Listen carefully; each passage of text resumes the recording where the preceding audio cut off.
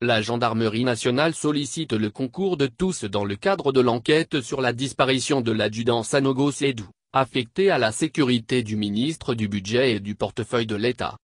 En effet, le dit sous-officier demeure introuvable suite à l'attaque du cortège du ministre, le 31 octobre 2020 à Zata dans le département de Yamoussoukro. Toute personne, susceptible d'apporter des éléments d'information est priée de contacter, la compagnie de gendarmerie de Yamoussoukro 73 994 367, le centre opérationnel de la gendarmerie nationale 20 257 011, le centre de renseignement opérationnel de la gendarmerie nationale 202570005. La brigade de gendarmerie ou le commissariat de police le plus proche, toute autorité administrative.